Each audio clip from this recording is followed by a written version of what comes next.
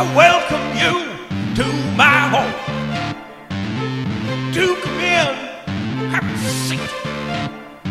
I have something here to relax you. I think you'll find it quite a treat. If you find me sounding insane, it's just the absinthe of talking.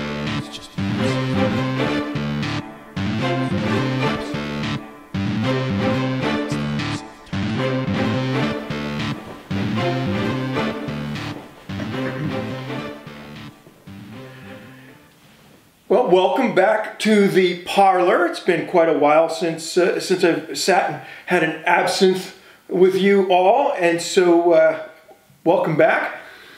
So, I thought I'd kick uh, us back off with these videos here with something that I've seen in the in the media quite a bit over the last few weeks, and it's something that I've been fielding some uh, questions uh, about from from friends, and that is all of these SpaceX contracts that uh, um, uh, that Elon Musk has been winning, and uh, obviously the most public of those is that SpaceX got a contract for doing the moon lander. Um, even though there were uh, other proposals out there, uh, and, and those that had spent a great deal of time, so they thought, uh, on these proposals were a little pissed off that, uh, well, SpaceX seemingly was promoted ahead of them, uh, even though uh, um, nobody really had made a lander yet. Nobody's actually made a lander since uh, uh, Wernher von Braun did back in the in the 70s. So, um, being totally fair, this is pretty much new ground, uh, except for those that were involved in that project. And we learned an awful lot about landing on the moon uh, from doing it, and also from projects that have happened since then. And again, anybody that's been kind of following along with the bouncing ball here realizes that even today, that is not an easy thing to do to get something to, to land on the moon. It's simply not. There, there's a lot of uh, a lot of things that can go wrong with getting it down and then obviously getting it back up. So there's a lot, a lot of things to work out. So why was why was Tesla pretty much handed this this project? And it all seemed to come down to money. But I know a lot of you like to see me yank the the uh, cover off of the crystal ball and, and look peer into the future. But this video is really more about trying to remove some of the mystery behind that rather than peering into the future and trying to make a lot of guesses. So with that said, what we have with SpaceX winning these contracts really doesn't have anything to do with the actual hardware. Again, we talked a little bit about the uh, the, the, lander. Uh, again, another very notable recent one was that they got a, a, very lucrative communications grant to make satellites. Again, propping up the uh, Starlink missions that they've been doing. And a lot of the reasons for SpaceX getting these grants has to do with the fact that, well, they're, they're actually doing a lot of this testing. And that really, that really speaks to the heart of why they're getting these contracts.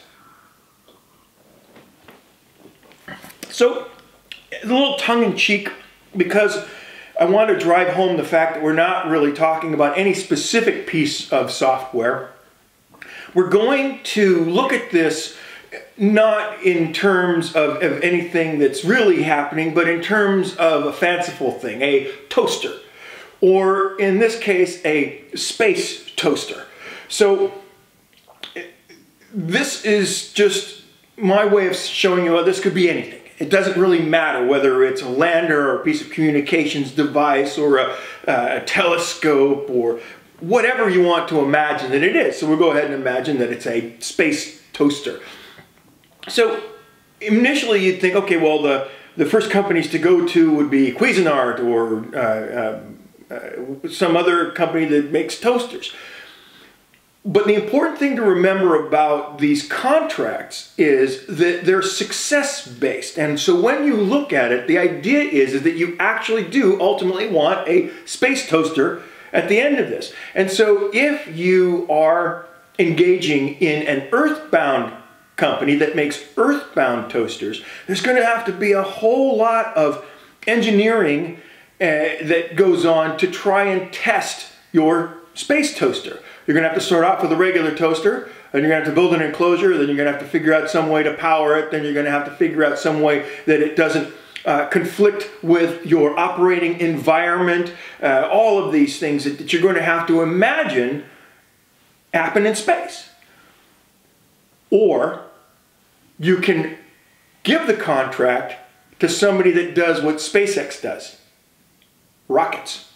So the point that I'm going to be driving home here is, is that making a space toaster, a successful space toaster, doesn't have anywhere near as much to do with the toaster part as it does to do with the space part.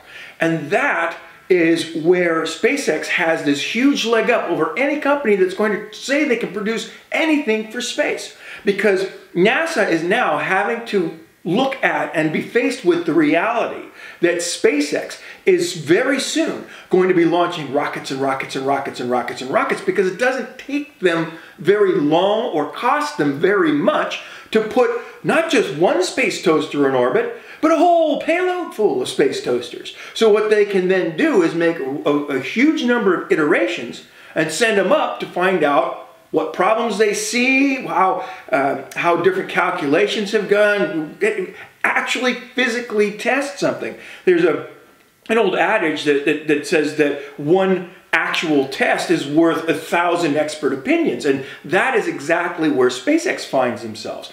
So there is one other underlying thing that I want to mention, and that was really kind of why SpaceX got any notoriety in, in all of this at all. And that is that NASA was very concerned that with all of their efforts through Lockheed Martin and Boeing and all the other pl major players, that initially, because SpaceX didn't get any kind of contracts to deal with, you know, the Artemis program or anything to do with going back to the moon, Elon Musk's response to that was really pretty shocking to NASA, and that was, well, that's okay, we're gonna, we're gonna go anyway.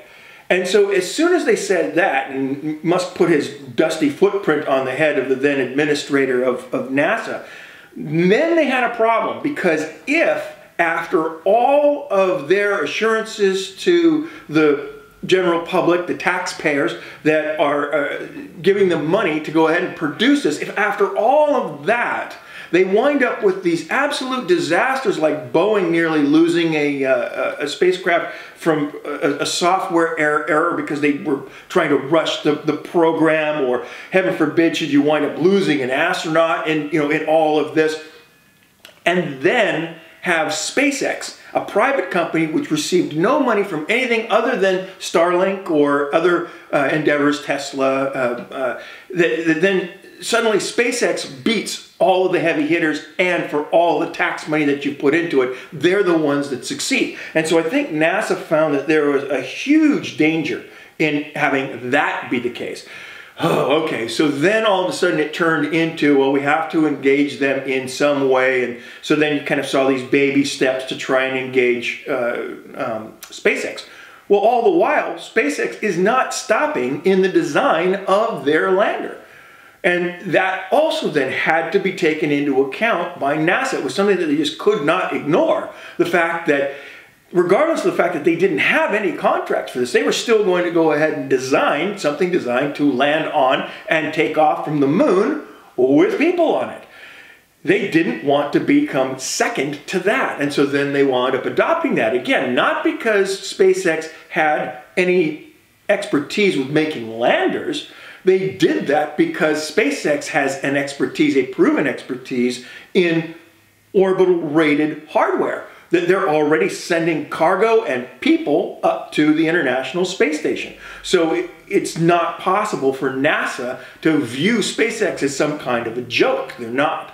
And so, in answer to that, they gave them this contract to do to make a lander that they were going to make anyway.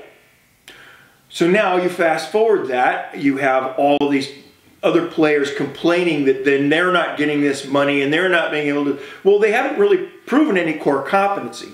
Jeff Bezos is a joke. I'm sorry. I know there's a lot of people that are, you know, really rooting for Blue Origin, and, and I am too, in a way, but they really do need to get off the pot. They need to actually put some hardware in orbit. They need to actually show core competency. This rivalry between them was fine when they were both spitting out CGI, competing CGI versions of their rocket. But that's no longer possible now that Elon Musk is doing landings of what is going to be his Starship. He's going to toss one into orbit and see how it does coming back in, hypersonic. And so these are things that are going to be happening within a matter of weeks, at the very least, months. And uh, where's where's Blue Origin in all this? Well, he's going to be sending himself up in his suborbital dildo to go up and drop back down. Well, been there, done that. Okay, so now let's try and you know move this forward. So really, they don't have anything to base core competency on to show that they're the ones that should be able to, to do this lunar lander hardware, whereas um, SpaceX has the space part down. SpaceX doesn't care how many of these rockets they crash on the moon. There's not going to be anybody in them. And so then they'll figure that out. And they're going to figure that out much cleaner and much quicker than people who are earthbound and have to take their time meticulously engineering every bit out of it. Same thing with the space toaster. Launch a lot of them. Figure it out. They did that with the uh, uh, with their Starlink satellites. The the satellites that are being launched today look nothing like satellites that were launched initially because of everything that they found out along the way. How did they find that out? They're launching these satellites 80 at a time.